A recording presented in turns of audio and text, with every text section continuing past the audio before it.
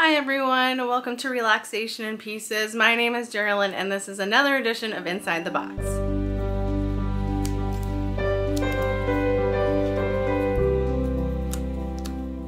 For September, I decided to do the 144 piece vintage Washington State postcard wooden puzzle from Green Tree Jewelry. This is the image. So I think the obvious question is why would somebody who normally does higher piece count puzzles pick a 144 piece puzzle to do for a video? Well, the answer is simple. It's easy. and I really needed something easy. So at the beginning of August, for two weeks, I was sick. Totally threw off my whole schedule. It is also why I didn't film an inside the box for the Coney Island puzzle I did. Um, yeah, and I would normally videotape for the September puzzle at that time. I'm usually a month off.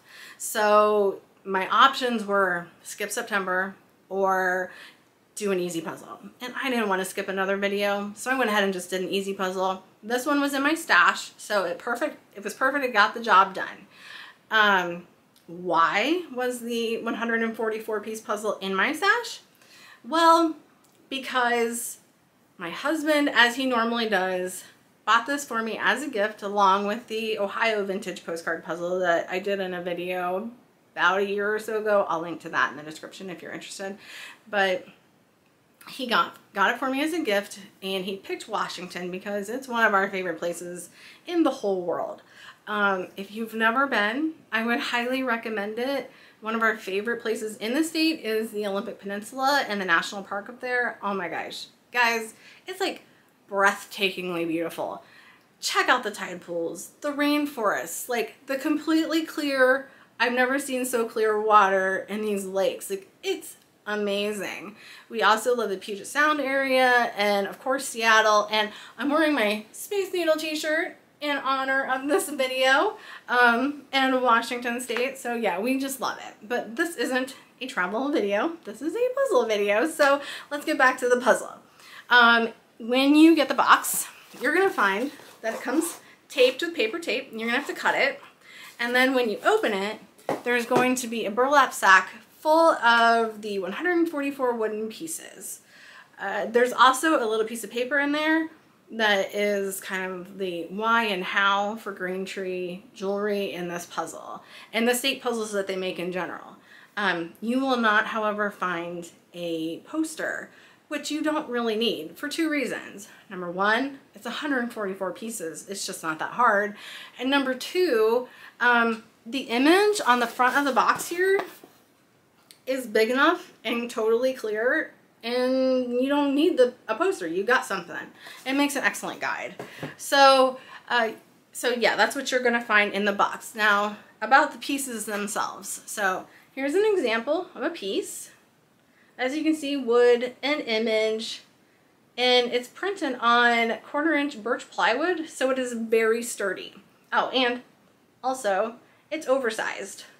So if you need an oversized piece, puzzle for handling or vision or whatever, this is actually a really good one. Um, it's nice because it has a low piece count. It has oversized puzzle pieces and it's an adult image. And I know that in my retail experience, I would often be asked about extra large piece puzzles and looking for adult images because they're not easy to find. You have to kind of hunt them down. And if you're an adult and you need oversized pieces or lower piece counts, you want to do a puzzle with an adult image. You don't want to have to like go into the kitty realm and like do stuff that's geared towards children. You want to feel like an adult when you do the puzzles. So these puzzles are a nice option for people who want that and need that. And I think that's great. Also, the pieces are laser cut. You can tell because of that, that dark line on the puzzle piece. It's laser cut. So um, if you are unfamiliar with doing a wooden puzzle that's been laser cut, uh, you should be warned that it is different than doing a cardboard puzzle. Cardboard puzzles are stamp cut, so you don't lose anything. But on a laser cut puzzle, it is actually cutting through the wood and so you lose a very small amount of the wood when they cut it which creates a little little bit of a gap between the pieces they can just move around and separate it so when you put the pieces together it requires more dexterity you know from the image that it's the right piece but putting it actually in, you might have to kind of wiggle the pieces and move them around a little bit, which you do not have to do on a cardboard puzzle. I'm going to show you an example of that. All right, so here we've got the puzzle partially finished, and you can see what I mean about the gapping. It moves, but it's, it's not a lot, but there is a little bit of movement, which is unusual. I mean, it's different than a cardboard puzzle. So when you go to put the piece together, and you put it in, like if you don't slide it, you can tell that it fits, but it doesn't go in. You have to slide it together and then it fits in. And that's just a little bit more dexterity. So I want to note, because of the dexterity required, even though it's a 144 piece puzzle, I would not recommend this for kids. Um, I think that it would just be frustrating for a kid um, and you don't want frustration when you do puzzles. You want puzzles to be fun, especially for kids. When you're trying to bring them into the puzzle fold and uh, get them interested, you want to make it you want to make it fun, you want to make it interesting, you want to make it an experience that they'll enjoy so that they'll keep coming back for more. And I really think that the, the dexterity that's required for this, it's just kind of, it's just too hard for a kid. Um, and yeah, that's that's what I have to say about that. Um, as far as my star ratings go, I would give it a five out of five for quality. Um, I have nothing bad to say about this puzzle.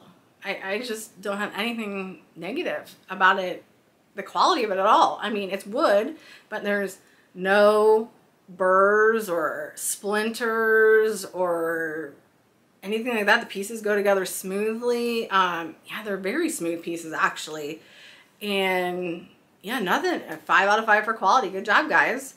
And then uh, for difficulty, I'm going to do a one out of five because this is an easy puzzle. I mean, it's only 144 pieces, as I mentioned many times. But even for 144 pieces, it's easy. The image just makes it that way. And speaking of the image, I'm going to give it a four and a half out of five. So really debated on this star image because, okay, when they screen print the image onto the birch plywood, you can see a little bit of the wood through it. It isn't like printing on a white piece of paper. So to me, it gives it more of that vintage old look to it. And that just matches the vibe of the puzzle. It's a, it's a vintage postcard. So the vintage look I feel like matches but it doesn't really match the picture on the box, which is very vibrant and rich. It's printed on white paper.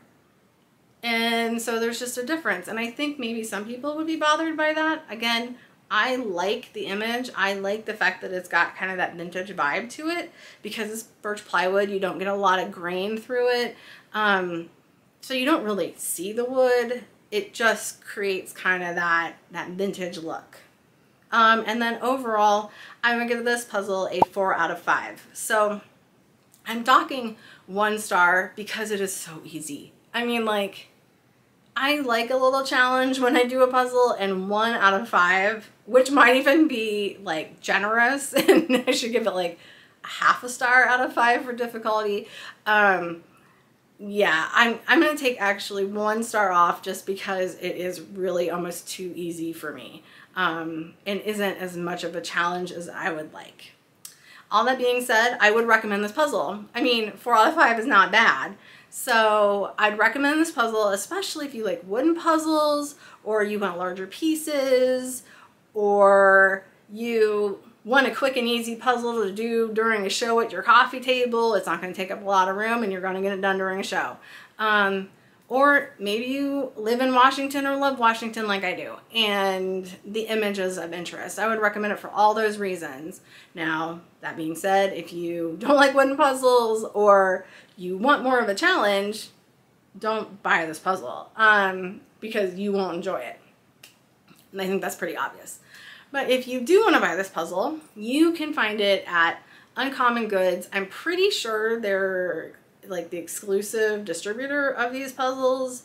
Um, and I will link to the Uncommon Goods website in the description below if you're interested. It's not an affiliate link, it's just where you can find it. Um, and they do sell all 50 puzzles, 50 states. Okay, they do sell puzzles of all 50 states. And uh, the last I checked, the Washington one was in stock. Not all the states were in stock, but they come and come and go. Um, but Washington was there. So yeah, check it out at Uncommon Goods. And I think that's all I have to say today, guys. Um, yeah, this is a companion video to my Relax with the Puzzle video of the same image. And I will link to that in the description if you are interested. Basically, what that is, is I put a piece in at a time, I set it to music, and it's a great way to just kind of relax, zone out, put it on in the background, do what you want. But this one is actually really short, so it's kind of a nice little intro if you've never checked it out before. It's only five and a half minutes long. Um, and you can just see what it's all about, start to finish. And it's only gonna be, uh, you know, five and a half minutes. No problem. So check it out. And if this video, you know, struck your fancy, you liked it, then give me a like, a thumbs up. And if you like this content, if you like the Relax with the Puzzle content, please subscribe. I would be forever grateful. And thank you to everybody who's already subscribed. And I also want to say this time, turn your notification bells on. Um, I have a surprise coming up that I'm very excited about in October and it's gonna, the timing's a little different. So you're gonna want those notification bells and that's the only little hint I'm gonna give you. but I am excited about it. Uh, hopefully I can get it done. Fingers crossed. Uh, yeah. So that's it, guys. As always, relax and enjoy the build, and I'll see you later. Bye.